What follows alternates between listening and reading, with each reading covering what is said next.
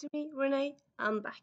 And yeah, as you can see, it's still October, so I'm going with the theme of like talking about scary things and scary-ish things. So today, as you can see, I'm not quite sure what I'm going to title this video yet, but yeah, I'm going to talk about things that scared me in my, I was say, my past, well, in my past, in my childhood, uh, or in other words, uh, movies that kind of, yeah, very much scared me. Uh, know, movies and one TV series. But yeah, uh, as, as I said before, I don't really like to be scared, but I suppose even if you don't like to be scared, you kind of be scared sometimes because I mean, even if you don't like, if you think you're going to an action movie, or if you're going, if you just kind of clicking around on TV as we did in the old days, we just kind of switched on TV. We didn't go on streaming. We kind of switched around on TV channels, and something looks fun, you watch it, and then suddenly minutes in, you're scared as F because something very scary happens. I mean, even me as a scaredy pants, sometimes I can't really avoid being scared. Uh, but yeah, um, I remember, for example, like I'm not quite quite sure if this like, this memory because it's one of my memories I of have from my early childhood, like when I was young. I don't remember if like this was the first time I saw it, but I do remember that like um from like I do like have this vivid memory of I was watching. Uh, anyway, I was watching it uh, at home, not in cinema. So I suppose. Well, I don't know if I watched it in cinemas. Anyway, yeah. Uh, so I was at my friend's house and we were watching HP One. And uh, I mean, I suppose you wouldn't really think you could be that scared from the first one, but like at at, at this time I was, I'm thinking I was like nine. Yeah, I was nine. It was yeah, I was biggish, but like uh, I've been scared of things for a long time, and I'm still kind of scared of things easily. Uh, but yeah, for most of the movie, it was fine. It was just entertainment and nice. But then at the end, like the very end, well, very end, I like the climax when the professor and HP is in the like uh, room of mirrors or room of Eris, uh, with the mirror of Erised, and uh, the professor kind of takes off his uh, kind of headgear with his he takes off his head scarf. I was suppose it's scarf in a way, and you kind of see the back of the hand. Yeah, I, I was so scared. I just ran behind the, the couch and I could not watch. Like even if like my friends kept on watching, I, I couldn't watch. So I was just like behind the couch until like the whole that whole scene was over. And actually, I could not. I tell you, I could not watch that whole scene until I was like, I think I didn't see it until I was like 20. So yeah, I was seriously old before I watched the whole scene like without like hiding. So yeah, that's I think that's kind of stuck with me, and yeah, for a long time I was very scared of that scene. I suppose in a way it is kind of one of the scary things in that movie. But yeah, for me, like personally, I could not watch it. I just kind of ran away from it for many, many years. Uh, similar, so similar, uh, similarly, so I suppose side note, well, side note. This move, this video will be a lot of me talking about my memories, anecdotes with movies. I suppose kind of like in the idea of it really. But yeah, so you get to know me a bit more. Uh, but yeah, similarly, one day, me and some friends, I think maybe we were eight. I think maybe we were ten, eight, nine, ten, around that age. We went to a friend's house. It was me and maybe like four friends, something like that. And we ended up watching this old movie, Pan, Pan's Labyrinth, Labyrinth uh, from the 80s, that David Bowie movie. And I suppose, I mean, it's, I mean, people know that it's kind of scary at times because, I mean, it, it's kind of supposed to be scary. It's kind of all about these monsters or monsters and that kind of stuff. Uh, but yeah, I mean, I couldn't even watch like the first five minutes because okay, spoiler. Well, it's not really a spoiler. It's an old movie and it happens very early in the movie. But yeah, anyway, like five minutes into the movie, uh, a baby starts to scream, and just the sound of hearing a baby screaming, it just terrified me so much. It just gave me chills, and I was just, I don't know, it just maybe something biological in me. I don't know. I just, I could not uh, stand it. It was just it just gave me chills and like I was so scared, so frightened of just like it wasn't it wasn't like anything else. It wasn't like a scary a baby that was scary or something around the baby that was scary. It was just a baby screaming, screaming at his lungs, but like still screaming. Uh, yeah, it just freaked me out so much that I ran out out of the room we were watching a movie in, and I just kind of thought like, okay, this is scary. This is good. It just kind of had this feeling of just being so scared and freaked out. I was in a way shocked. I wasn't shocked. I was just yeah, so scared. So I actually also ended up walking out of like the because we were at my friend's house. I went out of her house because like I, I couldn't I couldn't deal. It was just so scary. Uh, so I went out and I just kind of walked to my own house, which was like maybe ten minutes away from my friend's house. So it was it was a bit of a walk, not like a long walk, but a bit of a walk. It was kind of it was a statement. I could not watch the movie. One of my friends, she went out with me because she was nice and yeah, but the rest of them watched the whole movie. And yeah, I, I just could not watch the movie. It's just so so it just freaked me out so much. And I actually didn't really watch the whole of Pan's Labyrinth. Ariane, I'm trying uh, another movie. I didn't watch the whole of Labyrinth until I was like, I think I was 17. I think I was 17 years. And at that point, I kind of I was was mature enough to watch the whole movie. At that point, I enjoyed the movie, but like I suppose to this day, Pan's Labyrinth, Pan's Labyrinth, not Pan's Labyrinth, Labyrinth. For me, like the first memory of it was like this very scary, unsettling feeling, and like second memory is like it was a movie. I feel like a lot of people have like this movie as one of their cult favorite or like the all time favorites or just like one of their favorites. Well, yeah, one of the favorites. And for me, it's a movie. I, I have some, I have some memories attached to it, but it's not really a movie that I'm like that's attached to in any way or another. Really, at this point in time, it's just a movie that exists. Really. Uh, yeah, let me check my notes. Yes, those two have mentioned. Yeah. Then we have um uh, okay, so this is again a bit mean, I suppose, because it's not an English movie. It's not like uh, well, it's not American movie or English movie. It's a Norwegian movie, but um, I want it's it's a movie that kind of had an effect on me, so I want to talk about it anyway. Uh, so it's Norwegian movie from like 2000 and I think like maybe four, four, three around there. Like so, I was well, I suppose I would be like 10 or 12, 10, 11. Yeah, I think I was 10, 10 11 when I saw it. So around that age, I was also like it was kind of I think it was like meant for people a bit younger than me. Maybe it was meant for my age. No, for yeah. Anyway, I don't really remember, but yeah. So the plot of the movie is that uh, a girl, she's yeah, 10, 11, and her dad. They've just been those two for a long time. I don't remember what happened to her mom, but yeah, her mom's not in the picture. And then her dad gets a new wife. Uh, um, yeah, I think they move together, like with this new wife, uh, to a new house. And then wife, she has a daughter, so it's kind of this clash of two families.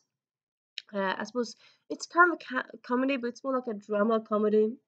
I would say maybe horror. Um, yeah, it has horror elements to it, definitely. Uh, because like this, okay, so this new stepmom, she's a um sorority, no, not sorority. She's a miss. She's a pageant woman. Yeah, that happens in a way as well and so she's very fixated on like uh body and body image stuff like that and she'll towards her own kids she's like only eat two bites of whatever you eat never eat the whole food and like her own daughter had like just a tiny biscuit for like uh, breakfast and nothing more just like a tiny biscuit and maybe like a little bit of water so yeah it was just very strict and like very over the top really because it was yeah because that's how you stay thin, I suppose. Um, and then uh, and then she kind of started to make her stepdaughter like eat this in this way and kind of feel self-conscious of herself.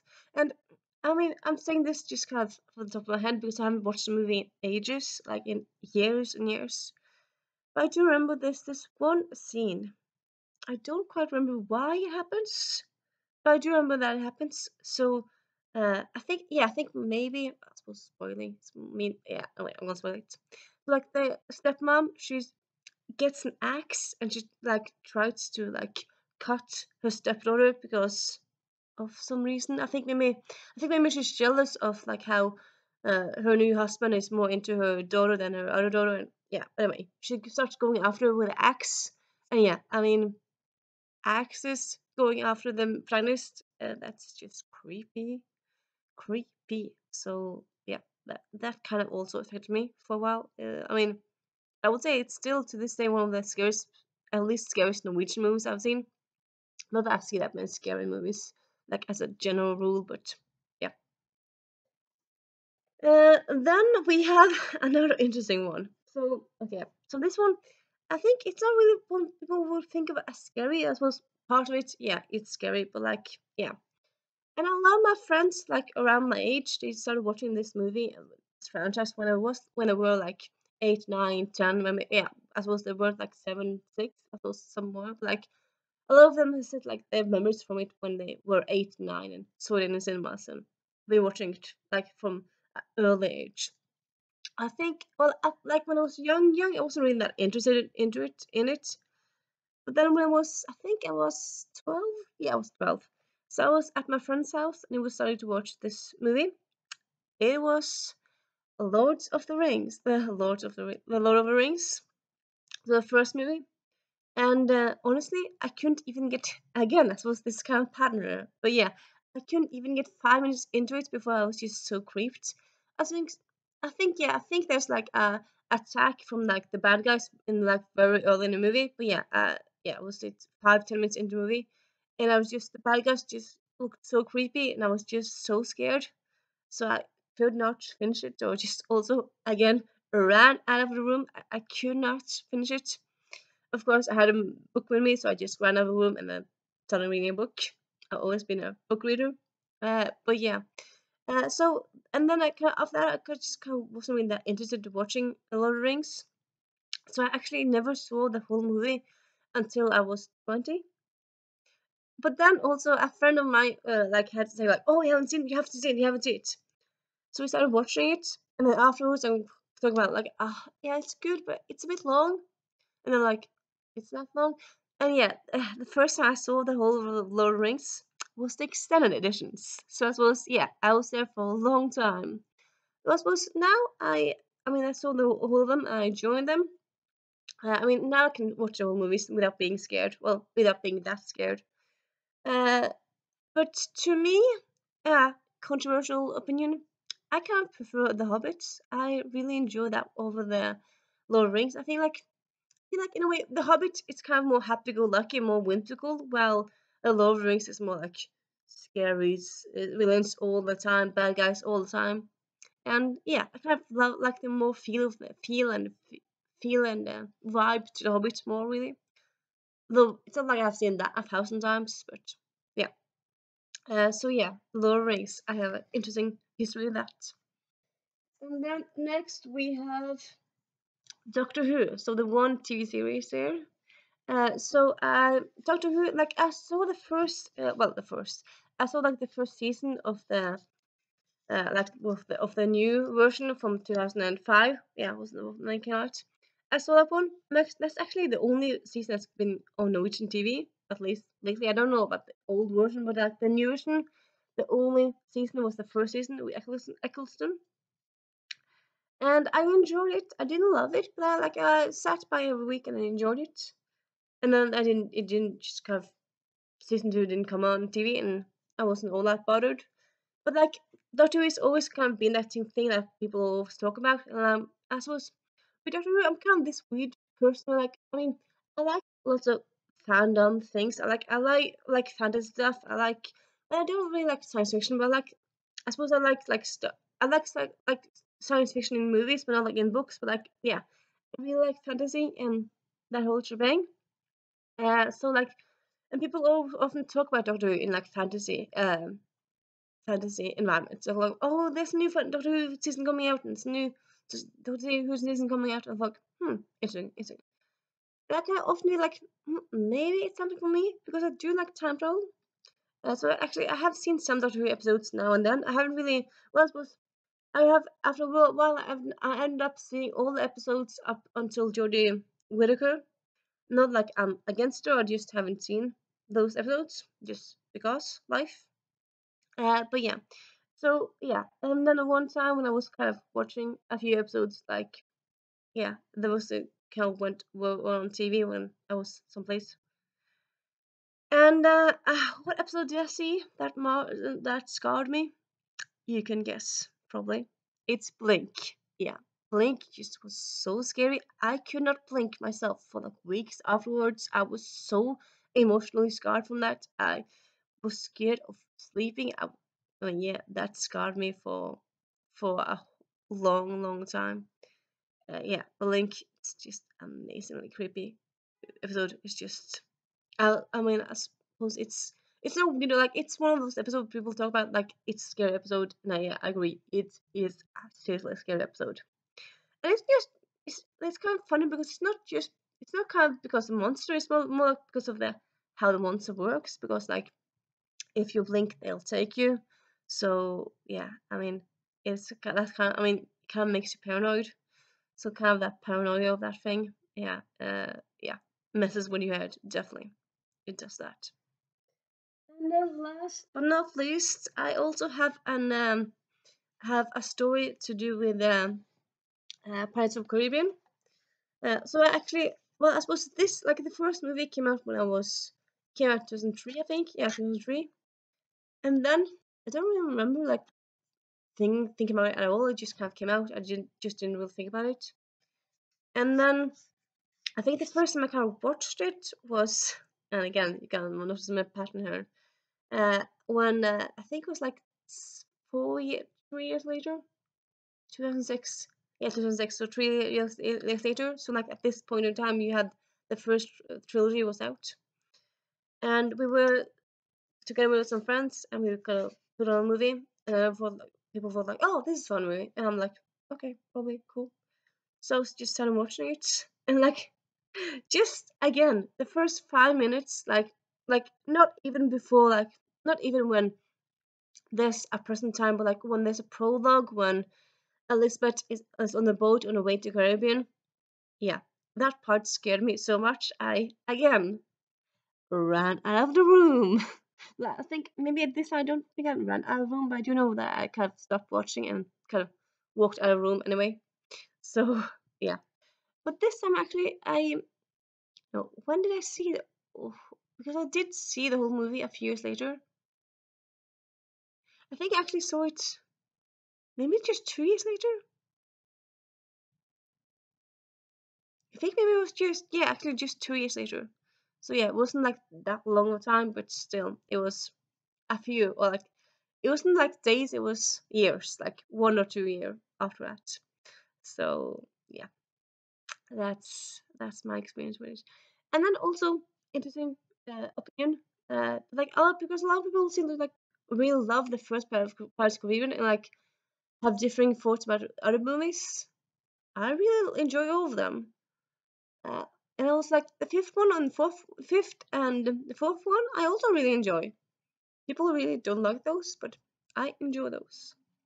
So yeah, and uh, yeah, this was a fun little insight into my scary memories of movies. And um, yeah, I hope you enjoyed it, and I'll see you soon. Bye.